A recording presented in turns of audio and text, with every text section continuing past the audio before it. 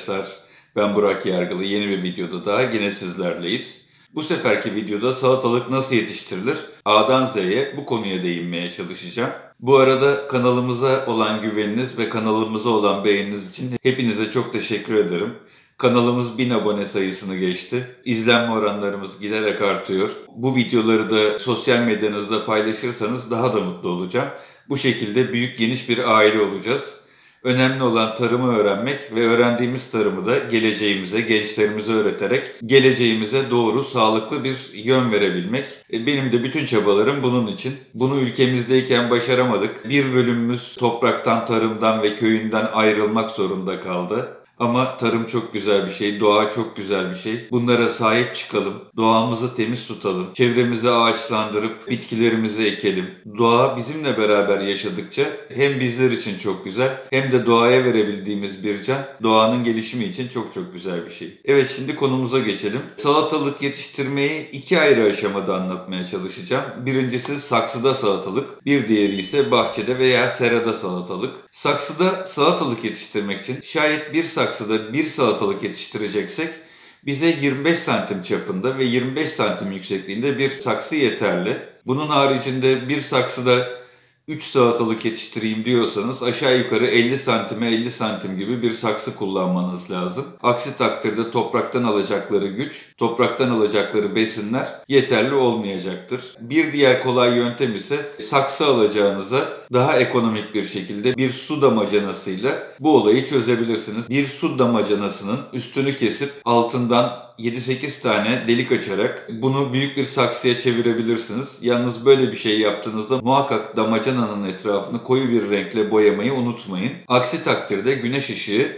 bitkinizin köklerine gelerek bitkinizin köklerini zedeleyebilir. Bu tarz pet şişeden veya işte herhangi bir şeffaf üründen yaptığınız saksılarda muhakkak etrafını boyamayı unutmayın. Yoksa güneş ışınları dediğim gibi köklere zarar verecektir. Evet şimdi konumuza başlayalım arkadaşlar. Balkonda saksıda salatalık yetiştirirken dediğim ölçülerde bir saksı alıp üstünden bir 5-6 santim boşluk kalacak şekilde toprakla doldurun. Daha sonra tohumlarınızı bu toprağın üstüne koyarak üzerine de maksimum 2 santim gelecek şekilde ama toprağı gevşek bırakmak kaydıyla, üstten bastırmamak kaydıyla üzerine toprak koyun. Tohumlamayı şöyle yapabilirsiniz. Her yetiştireceğiniz fide için ortalama 2 veya 3 tohum koyabilirsiniz. Bu tohumun çıkmama ihtimaline veya çıkan filizin cılız olma ihtimaline karşı sizin için bir önlemdir. Bu şekilde filizlenen fidelerden sizin için en sağlıklı olanını, en iyi gelişenini seçerek diğerlerini imha etmek kaydıyla ürününüzü yetiştirmeniz mümkündür. 50 santimlik bir saksıda da bir tanesi ortaya gelmek kaydıyla etrafına da 4-5 yere ekim yapabilirsiniz. Yine bu çıkan fidelerden 3 tane bırakmak kaydıyla gerisini imha etmeniz mümkündür. Salatalık tohumlarının en iyi çimlenme ısısı 18-19 derece arasındadır. Hatta salatalık tohumlarınızı 24 saat önceden klorsuz bir suya koyup bekletirseniz bu şekilde kabukları yumuşayacak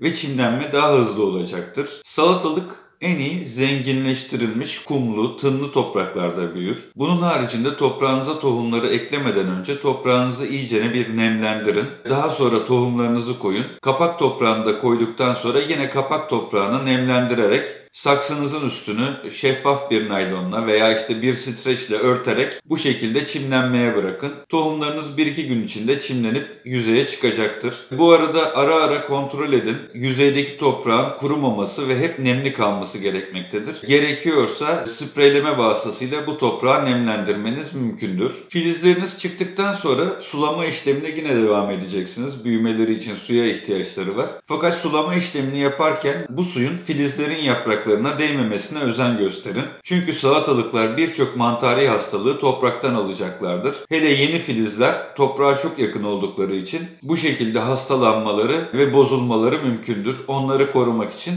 toprağınızda fidelerin etrafına bir sulama yapabilirsiniz. Ama dediğim gibi yapraklara suyun gelmemesine özen gösterin. Tohumlardan çıkan fidelerinizin 4 yaprağa ulaşmasını bekleyin. 4 yaprak olduktan sonra zayıf kalan fideleri söküp atın ya da zayıf kalan fideleri toprak seviyesinden keserek körleştirin. Sizin ihtiyacınız olan iyi büyüyen sağlıklı fidelerdir. Oldu ki çıkan fidelerden ihtiyacınızdan fazla sağlıklı var ve bunları da çoğaltmak istiyorsunuz. O zaman bir kaşık yardımıyla köklerine zarar vermeden fideleri ayırıp bunları da bir başka saksıya aktarmanız mümkündür. Yalnız fidelerimiz genç ve taze olacağı için kılcal kökleri oldukça hızlı zarar görebilir. Buna dikkat göstermenizde fayda var. Fideleriniz 25 santim boya ulaştığında altlarına biraz daha toprak koyun. Toprakla bunları doldurun ki kökleri daha sağlamlaşsın, gövdeleri de daha iyi gelişsin. Biliyorsunuz ki biz bu işleme boğaz doldurma diyoruz. Bu doldurmayı yaparken koyacağınız toprağın içine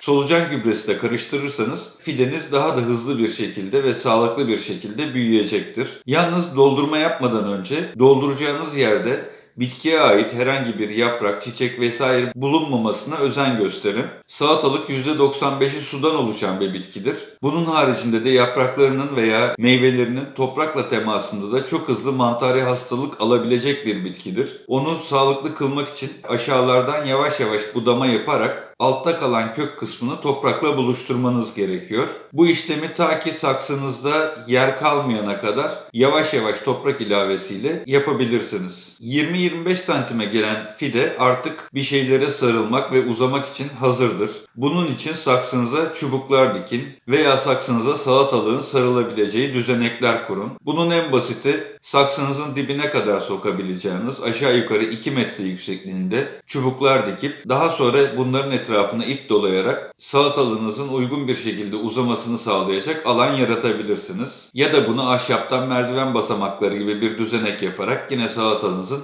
uzamasını sağlayacak düzenekler kurabilirsiniz. Bunun da resmini size yanda gösteriyorum. Bunun haricinde bahçede salatalık yetiştirmek için iki tane yöntem vardır aslında. Birincisi fide yapmak, ikincisi tohumu direkt toprağa ekmek. Bana sorarsanız tohumu direkt toprağa ekmek çok daha faydalı. Bu şekilde salatalık köklerinin zedelenmesini engellemiş olursunuz. Ama erken mahsul almak istiyorum derseniz bunun için de fideleme yapmanız gerekir. Her iki şekilde de ekim doğru yapıldığı müddetçe herhangi bir problem teşkil etmez. Şayet erken mahsul almak istiyorsanız Mart başı gibi fideleme yapıp daha sonra fidelerinizi toprağa alabilirsiniz. Fidenizi veya tohumunuzu toprağa ekmeden önce toprağınızı iyicene bir çapalayın. Toprağınıza ihtiyaç duyabileceği gübreleri yani kompostu, isterseniz hayvan gübresini, bunun haricinde solucan gübresini ilave edin. Yine ekeceğiniz yerleri kompost ile zenginleştirirseniz bu şekilde fideleriniz ve tohumlarınız çok rahat köklerini derinlere kadar salabilecektir.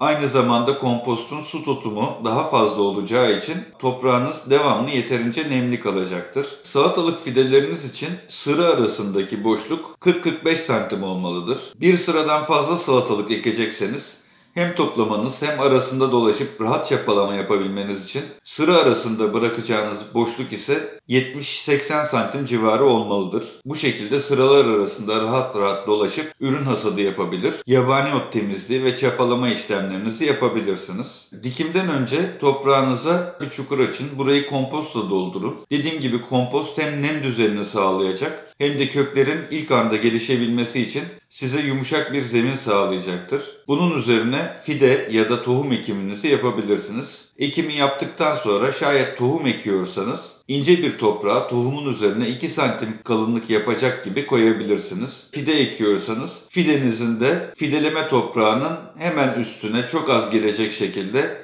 toprak çekebilirsiniz. Bu şekilde fidenizin de kökleri rahatlıkla toprakla entegre olacak ve oraya uyum sağlayacaktır. Eğer bahçeniz telle çevriliyse bu kenarları salatalık yetiştirmek için kullanabilirsiniz. Teller salatalıkların, fasulyelerin tırmanabilmesi için güzel bir olanak sağlar. Bunun haricinde zeminin nemini korumak için yine salatalıklarınızın dibine kabak ekimi yapabilirsiniz. Kabak aşağıda yayılacağı için güzel bir malçlama ortamı yaratacaktır. Yine salatalıklarınızla beraber özellikle salatalıkların güneyine gelecek şekilde mısır ekimi yapabilirsiniz. Mısır da hem büyüyecek hem de yine salatalıklarınız için keskin güneşten koruyucu bir perde görevi, bir gölgelendirme görevi yapacaktır. Bunları da ikinci bir üç kardeş olarak düşünebilirsiniz. Bu şekilde ekim organizasyonu yapmanız sizin için alandan ve verimden kazanç sağlayacaktır. Eğer sırık salatalık yetiştiriyorsanız salatalığınız yetişirken dipte bulunan çiçekleri ve meyveleri temizleyin. Bunun haricinde dipten çıkan yaprakları da temizlemeniz gerekir. Aşağı yukarı bir karış yüksekliğinde yani 25 santim 30 santim civarında sırık salatalıklarınızın dibinde herhangi bir yaprak ya da çiçek bulundurmamanız gerekiyor.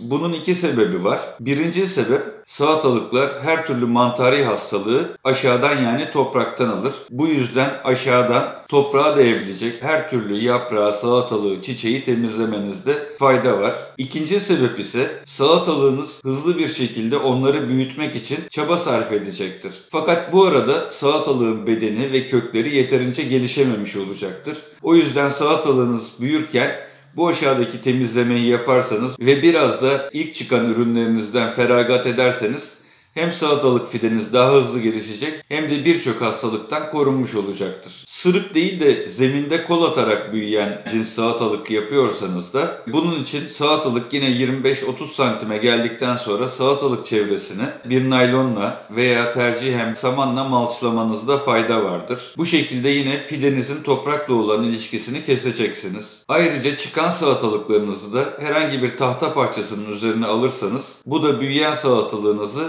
koruyabilir koruyacak ikinci bir unsur olacaktır. Bu şekilde bitkiye mantari hastalık transferinin önüne geçmiş olacaksınız. Salatalıklarınızı bahçede yetiştirirken bunlara iplerle ya da tellerle askılama uygulayabilirsiniz. Bunun haricinde yine sırıklara sardırma yöntemiyle salatalıklarınızı büyütmeniz mümkündür. Aynı zamanda paleti veya herhangi bir telli çerçeveyi topraktan biraz yukarıya doğru 45 derece eğimli bir şekilde koyarak salatalığın bunun üzerine çıkmasını sağlayabilirsiniz. Bu aşağıda kalan bölümü de kıvırcıklarınız için kullanmanız mümkündür. Aynı zamanda dar alanda birkaç bitkiyi yetiştirmeniz mümkün olacaktır. Salatalıklarınızı şayet ip veya telle askıya alacaksanız bu yüksekliğin en az 2 metre olmasında fayda vardır. Salatalıkların rahat ve doğru bir şekilde iplere tutunabilmesi için 2-3 günde bir salatalıklarınızın yeni uzayan fidelerini bu iplerin etrafında bir tur attırarak çevirmeniz gerekmektedir. Bu şekilde hem filiz ipe veya tele tutunmuş olacak hem de salatalıkların uzattığı tutunma kolları bunlara daha çabuk ulaşarak kendini orada askılayacaktır. Yalnız salatalıklarınızı ip ile tutturuyorsanız bu ipin sağlam olmasına özellikle özen gösterin.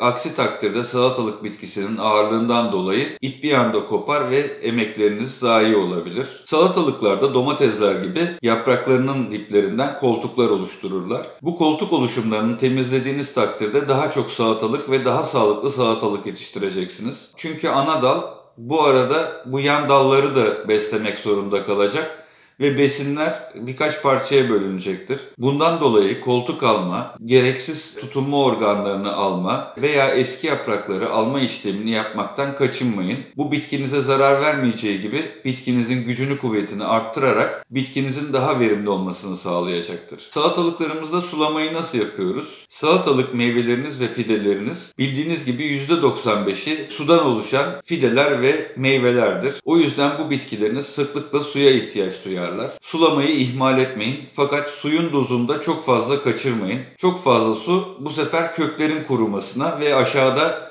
mantarların oluşmasına sebep verecektir. Sulamayı dengeli yapmanız gerekmektedir. E, sulamayı az yaparsanız bu sefer yapraklar sönükleşecek. Oluşacak meyvelerde de şekil bozuklukları oluşacaktır.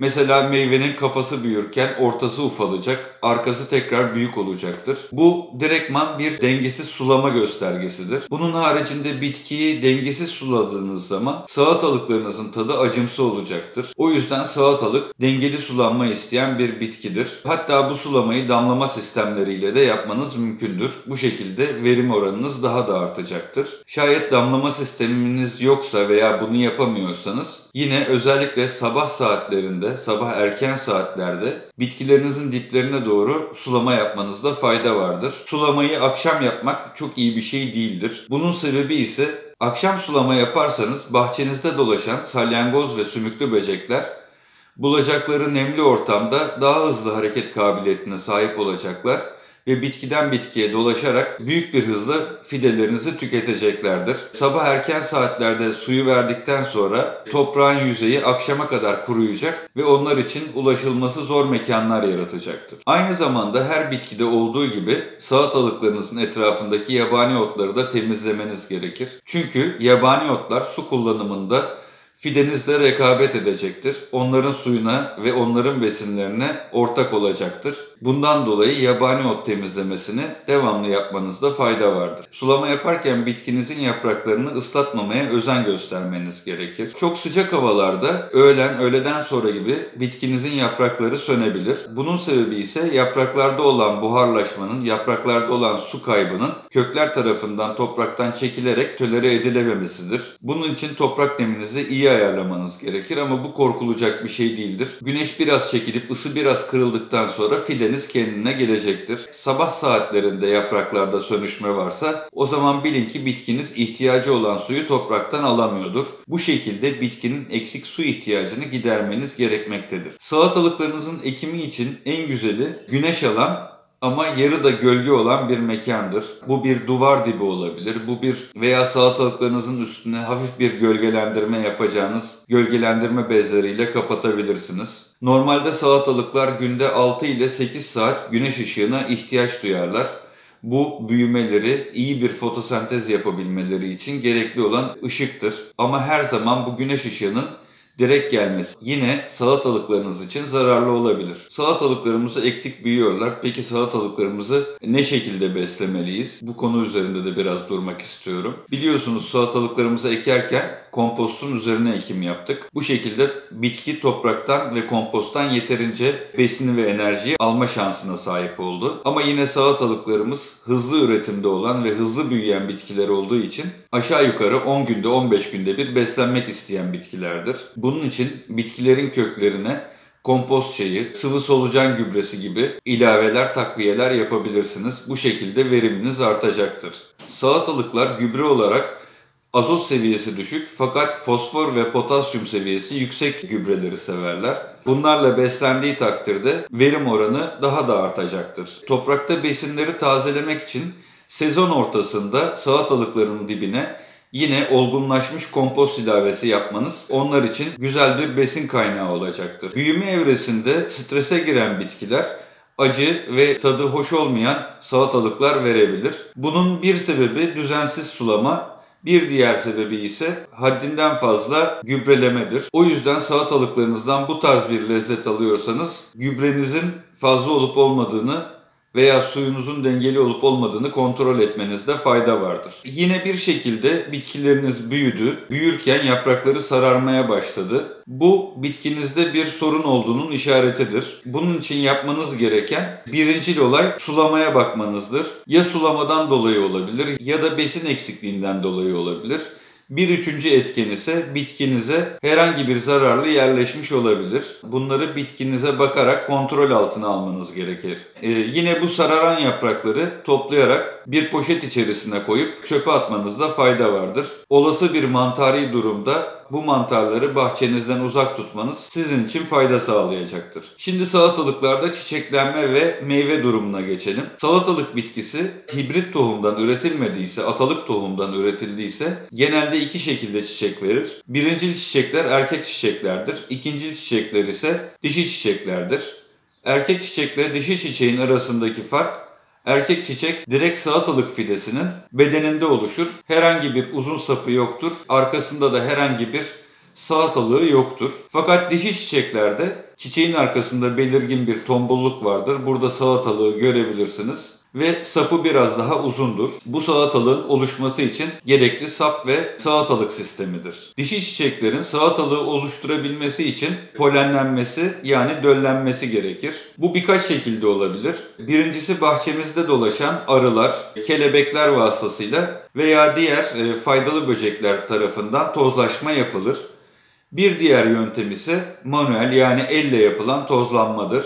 Bunun iki tane çeşidi vardır. Bir kulak kül tipsi veya ince uçlu bir resim fırçasıyla erkek çiçekten dişi çiçeklere elinizle tozlama yapabilirsiniz. Ya da erkek çiçekleri kopartıp dişi çiçeklerin üstüne sürerek tozlanmayı sağlayabilirsiniz.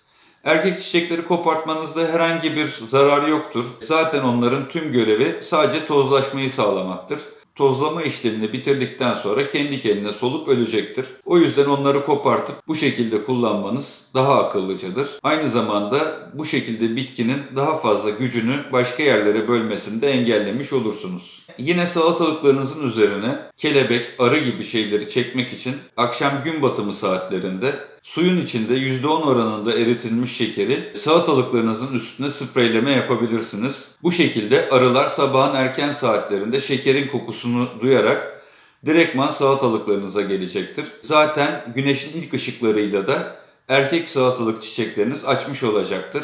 Bu şekilde tozlaşma çok daha rahat, çok daha emin bir şekilde böcekler tarafından yapılır. Böceklerin olmadığı yerlerde yani seralarda tozlaşma dediğim gibi manuel olarak yapılır. Bunun haricinde rüzgar da salatalıklarınızı tozlayabilir ama bu çok tesadüfi ve düşük oranlı bir tozlama olacaktır.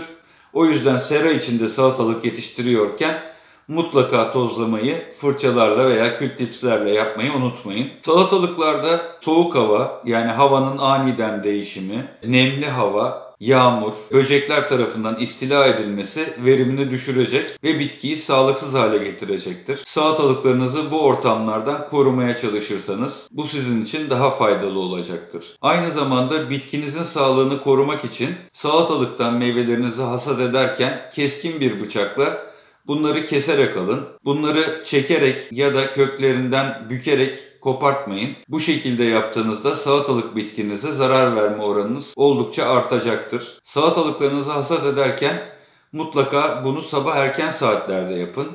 Bunun sebebi ise güneş yukarılara çıkıp ısı arttıkça salatalıkların hasat edildiği yerlerden su kaybı fazlalaşacaktır. Fakat Gündüz erken saatlerde bunu yaparsanız bitki güneş ortaya çıkana kadar kendini onaracak bir süreç bulacaktır. Bu şekilde bitkideki su kaybı minimuma inecektir. Salatalıklarınızda görülebilecek başlıca hastalıklar midye ve mantar hastalığıdır. Bunun haricinde yine salatalıklarınıza yaprak bitleri, ve kırmızı örümcekler musallat olabilir. Aynı zamanda sümüklü böcekler ve salyangozlar da salatalık fidelerinizin yeni sürgünlerini yemeyi çok severler. Bu böcekleri bitkinizden uzak tutmak için salatalık köklerinin etrafına 2 atomlu topraktan bir miktar serperseniz bu böcekler yine topraktan bitkinize ulaşamayacaktır. Küflenme, küllenme, midye gibi hastalıklarda da yine doğal ilaçlarla müdahale etmeniz mümkündür. Mesela yukarıda size kartını bıraktığım doğal böcek ilaçları ve mantar ilaçları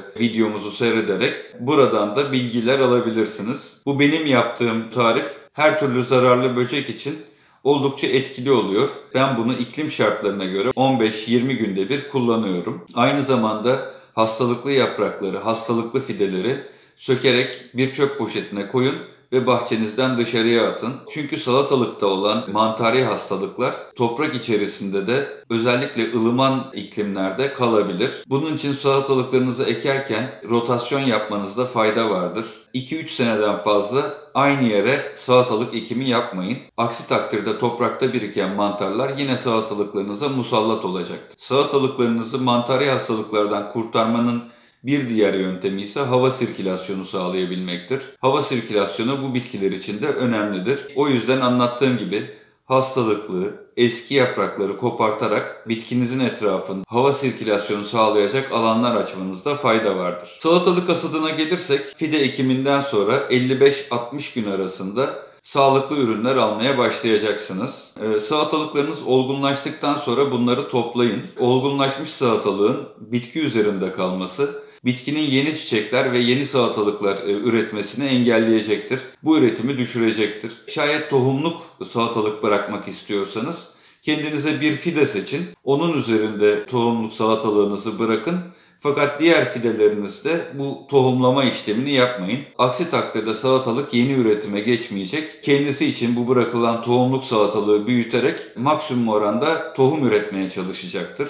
Yani bitkiniz tamamen verimden düşecektir. Gözden çıkarttınız ya da ayırabileceğiniz bir bitkiyi tohumluk olarak bırakmanızda fayda vardır. Salatalık hasadında ucunda çiçeği sararmış ve kurumuş bir salatalık olgunlaşmış demektir. Bunu bir bıçakla keserek almanız en doğrusudur. Daha fazla bekletmeye gerek yoktur. Bahçede yetişen salatalıklarda Olgunlaşma boyu 15 ila 20 santimdir. Kornişon salatalık yetiştiriyorsanız bunlar için olgunluk boyu 2,5 ila 10 santim aralığında değişmektedir. Yetiştireceğiniz kornişonun tipi boyutunu etkileyecektir. Serada yetişen salatalıklarda ise bu boyut 30-35 santim civarına hatta 38 santim civarına kadar çıkabilir. Meyveleriniz bu boyuta geldiği zaman muhakkak hasat edilmelidir. Bitki üzerinde normalden fazla kalan salatalığında kabukları kalınlaşacak ve tadı değişecektir. Bu da lezzet kaybına sebep verecektir. Bu şekilde de bitkinizden salatalığınızı bir an önce toplamanızda fayda vardır. Taze taze salatalık yemek istiyorsanız evinizdeki insan sayısına oranla normal salatalık için kişi başına 2 veya 3 adet fide dikimi yapabilirsiniz. Kornişon tipi bir salatalık dikecekseniz de bunu 3-4 adet yapmanızda fayda vardır. Evet arkadaşlar bir videonun daha sonuna geldik. Size elimden geldiğince, bilgilerimi yettiğince salatalıklar hakkında bilgi vermeye çalıştım. Umarım verdiğim bilgiler hoşunuza gider. Hoşunuza giderse lütfen kanalımıza abone olmayı, videolarımızı beğenmeyi unutmayın. Hatta bizleri sosyal medyada paylaşırsanız bu kanalımızın büyümesi için çok güzel bir fırsat olacaktır. Hepinize uzaklardan sevgilerim ve selamlarımı iletiyorum. Kendinize iyi bakın. Bir sonraki videoda görüşmek üzere.